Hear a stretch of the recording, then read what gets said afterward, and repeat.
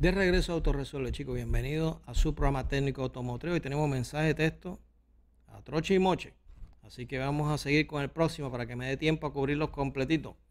Pásame el próximo mensaje. Corolla 2001, me detengo en una luz y parpadea la luz de oil y el aceite es nuevo. Y es nuevo ahora. Es nuevo porque se lo cambiaste reciente.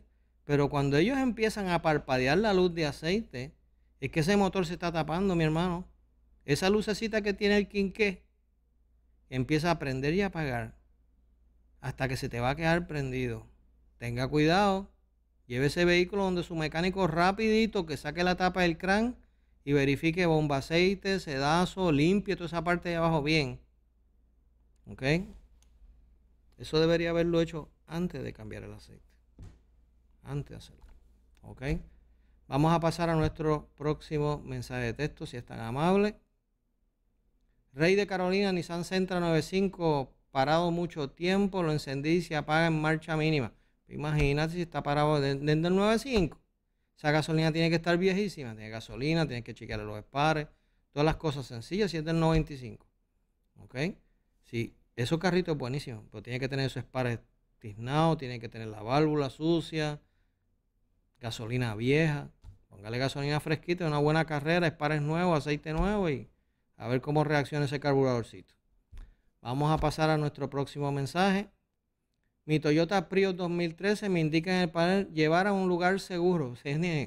Si él te está indicando que en el panel, por favor, detente en un lugar seguro, es que está empezando a presentar problemas con el sistema híbrido. ¿Ok? Sale el triangulito. Yo le llamo el triángulo de la muerte. Cuando tú estás caminando un vehículo eléctrico híbrido y de repente aparece un triángulo rojo o amarillo, cuidado algo está pasando con el sistema. El técnico lo debe de evaluar lo más pronto posible. ¿Ok? Porque hay algo que está pasando. No está cargando, la batería está agotada o hay un problema con el sistema de regeneración. Una de las baterías, posiblemente la de 12 voltios, te esté dando problemas o la híbrida. Pero ¿cuál de todos es el problema? Tienes que pararte en un área segura o llevárselo a tu técnico derechito. Nosotros en Garaje Molina damos esos servicios Garaje Molina Corp en la 65 de Infantería. Llama, a tu cita para hacer el análisis correspondiente y determinar cuál es el área del problema. ¿Okay? Pero si él ya te está avisando, el problema está serio. ¿Okay? Vamos a pasar a nuestro próximo mensaje de texto, si es tan amable.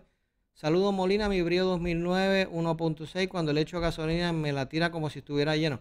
Eso lo hemos discutido en muchas ocasiones, mi hermano. Eso es un problema con el sistema evaporativo y tenemos que hacerle la inspección en qué parte del sistema evaporativo que te está ocurriendo, si es el canister, si es el solenoide de purga, si es el solenoide de ventilación, si es manga.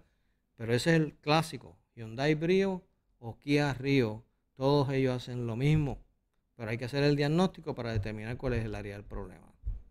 Vamos a pasar a nuestro próximo mensaje, si es tan amable, de que se nos vaya el tiempito. Pase el próximo, gracias.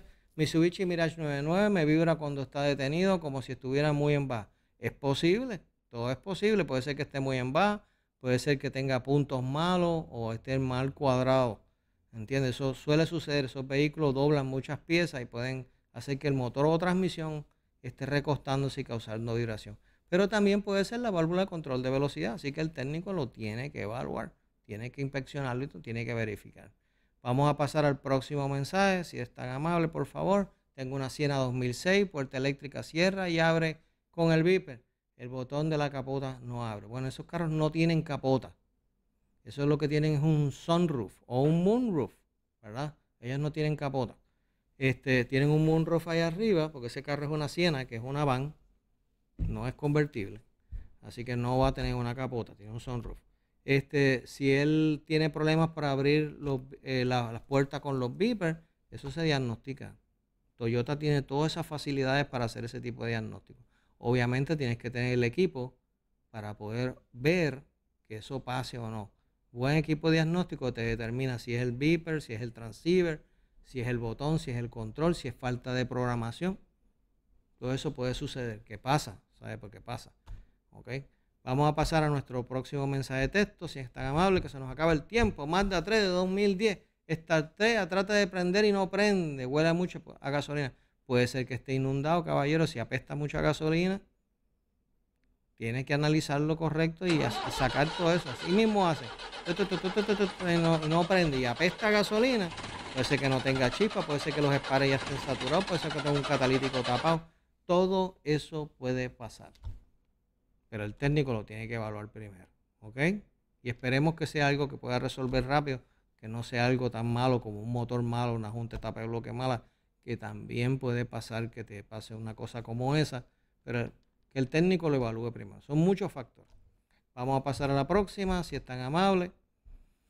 Suzuki Aéreo 2005 se evapora el aceite de la transmisión, pero ajá, prende, pero hace un ruido. Bueno, ¿será el ruido de la transmisión?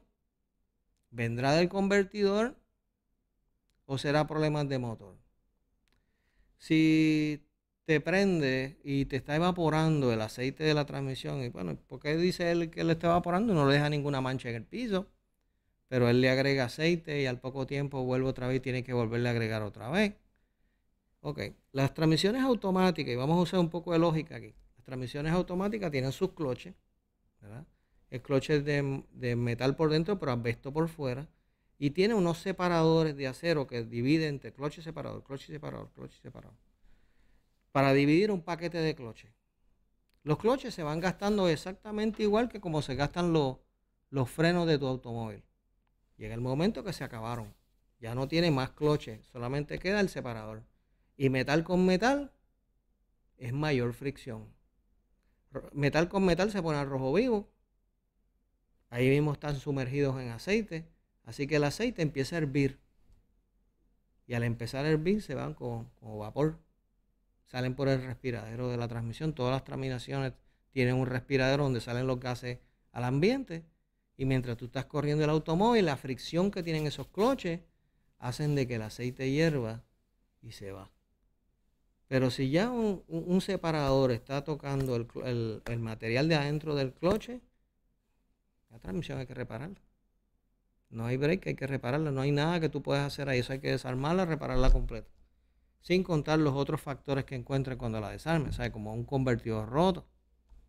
Los convertidores cuando se rompen empiezan a sonar adentro, ¿ok? Porque también tienen clocha dentro del convertidor y pueden sonar las aspas, la turbina, empiezan a sonar rozando una con la otra y hace un escándalo. Ya eso es una reparación, ¿ok? Vamos a pasar a nuestro próximo mensaje de texto, si es tan amable, antes que se nos acabe el tiempito se nos estamos cortitos. Señor Santiago, ¿a qué millaje le cambia el aceite de transmisión a una Suzuki SX4 de 2013? La Suzuki SX4 vienen con dos tipos de transmisiones, una 5 cambios normal y una CBT. La CBT cada 30, la 5 cambios cada 60. Sencillo, pero tiene que verificar cuál de las dos. ¿Qué tipo de aceite usa?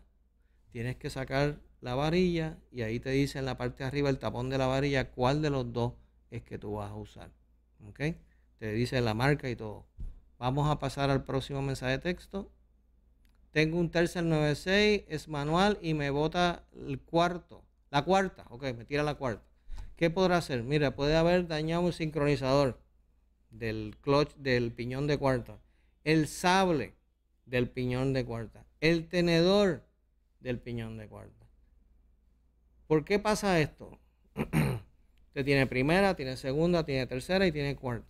Si hubiese roto, ¿verdad? Un spline o un sable o algo así, te dañaría segunda y cuarta, las botaría las dos. Las botaría. En tu caso, cuarta es el último cambio. Primera, segunda, tercera, cuarta. Es el último piñón de atrás. El más pequeño de todos en este caso. Si tuviera quinta, pues entonces la quinta sería el piñón más pequeño. Y el último de atrás del rabo de la transmisión. Casi siempre se rompen los sincronizadores por forzarlo o por estar corriendo el vehículo con bajo nivel de aceite en la transmisión. Y ese carrito siendo tan bueno, pues es capaz de haber corrido un año entero sin aceite y ahora que estás empezando a sentir esos síntomas. Así que prepárate, que lo que necesitas es una reparación de esa transmisión. Chicos, no se vaya nadie, que regresamos con más de Auto Resuelve.